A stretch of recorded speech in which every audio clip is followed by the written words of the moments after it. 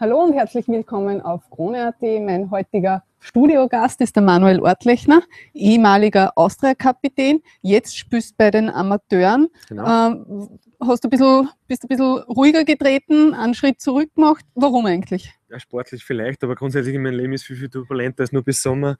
Ähm, Warum? Ja, irgendwann einmal kommt du in ein fortgeschrittenes Alter. Also du wirst das ja selber bestätigen können als Sportler, dass irgendwann einmal. Dankeschön. Nein, du weißt, dass es positiv. Ja. Irgendwann einmal kommt der Zeitpunkt, ja. wo man sich nicht auch Gedanken macht, dass man mal kürzer tritt auch. Ähm, bei mir ist es so mit Sommer dann irgendwo auch passiert. Ich habe dann die Möglichkeit bekommen, bekommen, nur zwei Jahre bei der zweiten Mannschaft weiterzuspielen, so als Führungsspieler, ein bisschen Vorbild sein. Mhm. Und ich habe das sehr toll gefunden, dieses Angebot. Und ich kann auch meine anderen Dinge, die ich gerade so in meinem Kopf habe und die ich gerade so auslebe, kann ich dem nachgehen und da bin ich sehr, sehr dankbar dafür. Andere Dinge, weil du es gerade ansprichst, du bist Papa geworden. Wie geht es dem ja. kleinen Julian? Ja, ihm geht super. Die Eltern nicht immer so mit dem wenigen Schlaf, aber ich sage mal so, die ersten Wochen waren echt hardcore. Da haben wir wirklich zum Training geschleppt und ähm, das war echt nicht lustig, aber ich denke, jeder, der Papa oder Mama ist, weiß ohnehin, wie das ist und man muss das wahrscheinlich auch selber mal miterleben, dass man das überhaupt irgendwo nachvollziehen kann. Aber es ist egal, es ist das Schönste, was es überhaupt gibt. Müdigkeit hin oder her. Also du bist ein braver Papa, du stehst da auf und hilfst richtig mit, Windeln wechseln, ja, was dazugehört. Ich, ich bemühe mich, wo ich nur kann, dass ich die Frau natürlich unterstütze und ich denke, das gehört auch irgendwo dazu. Das ist irgendwie auch ein Thema Respekt, wenn, wenn du mich jetzt so mhm. fragst, da, ich kann nicht sagen, ja Schatzel, du stehst auf um drei in der Früh und ich drehe mich um und schlafe weiter. Ja. Ähm, ich denke, das wird sich auch nicht wirklich positiv auf die Beziehung niederschlagen, deswegen ist es eigentlich ganz normal für mich.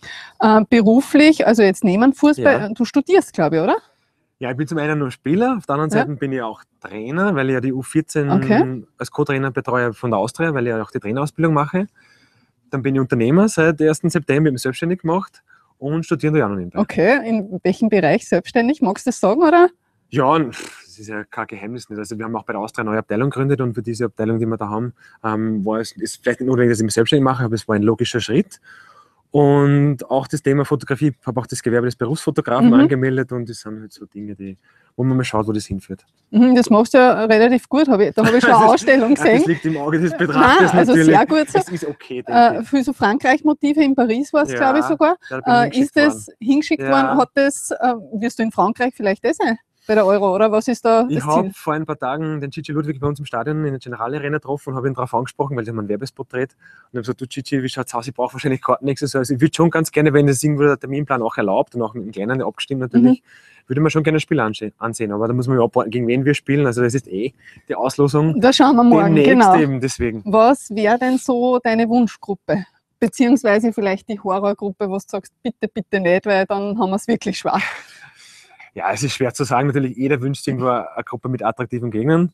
Wenn du die Spieler fragst, die wünschen sich wahrscheinlich eher eine Gruppe mit schlagbaren Gegnern. ähm, eine Mischung wäre ganz gut, weil ich denke, dass die ersten beiden aufsteigen.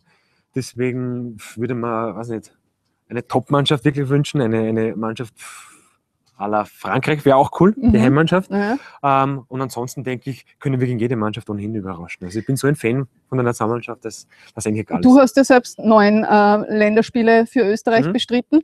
Ähm, was Jetzt haben wir ein paar Verletzte. Ja. Ne? Alaba, Junusovic, Hanik, glaube ich.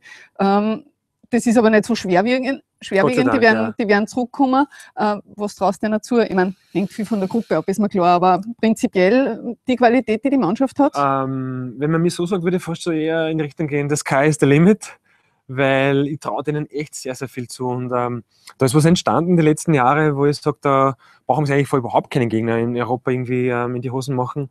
Ähm, wir können wirklich jeden fordern und irgendwo auch jeden schlagen, deswegen ist es egal. Und denke, wenn jetzt alles passt, wenn die Vorbereitung passt, wenn alle fit sind, das ist ja auch so ein Thema, weil mhm. Robert Almer darf nicht vergessen. Ja, auch genau. der ist jetzt gerade ein bisschen gröber angeschaut, aber ich glaube, auch das sollte sich ausgehen. Ähm, wenn alle fit werden und auch, auch eine gute Form besitzen, mhm. dann ist schon sehr, sehr viel möglich. Und ähm, ich glaube schon, oder ich traue mir fast wetten, dass wir die Gruppenphase überstehen. So weit traue ich es gehen. Das glaube ich auch. Ähm, Austria Wien, auch mhm. derzeit, also Tabellenführer. Ja. Was ist da drin? Herbstmeister schon äh, am Ende des Jahres, haben sie auch die Schale in der Hand? Oder? Ja, jetzt geht es um den Winterkönig, dass sie auf den ersten Platz überwintern. Da haben sie ja noch ein Spiel vor sich. Ich hoffe auch, dass sie ähm, das so bestreiten, dass sie drei Punkte mitnehmen, weil es ist schon immer fein, wenn du so jetzt zwei Monate mehr Ruhe hast eigentlich vom Meisterschaftsbetrieb und ähm, lachst von ganz oben herunter von der Tabelle. Ähm, bin sehr, sehr glücklich mit dem, was da gerade abläuft im Verein. Also es passiert ja gerade wirklich viel. Also mhm. man weiß ja auch, dass ein neues Stadion bei uns entstehen wird und da ist echt einiges in der Pipeline. Und die Krönung wäre natürlich, wenn man im Sommer dann übersiedelt ins Happelstadion, dass man mit einer Meisterschale da irgendwie dann zuerst noch feiert auf dem Rathausplatz und dass man dann, wie gesagt, die zwei Jahre dann im Happelstadion bestreitet und dann in die neue Generale Arena einzieht. Und der Thorsten Fink hat die Truppen wieder richtig gut gemacht, ne? Richtig zusammengeschweißt oder ja, ist das? Ist ein richtiger Topmann. Also ich habe ja. sehr, sehr viel Kontakt mit ihm gehabt. Ich habe auch die Mannschaft einen Tag lang als Fotograf begleitet und auch im Vorfeld mit, lang mit ihm unterhalten. Also ich muss echt sagen, das ist wirklich ein Spitzentrainer und ich sage, Austria ist ein Spitzenclub und somit passt das ganz gut. Spitzentrainer bei einem Spitzenclub. Dann wünsche ich dir für die Austria alles Gute. Schauen Danke. wir mal, wie es ausgeht. Uns morgen bei der Euro-Auslosung, dass wir einerseits attraktive ja. Gegner haben, andererseits ja. aber auch schlagbare. Genau. Und werden wir schauen, was am Ende dabei ausschaut. Dankeschön. Nichts zu danken.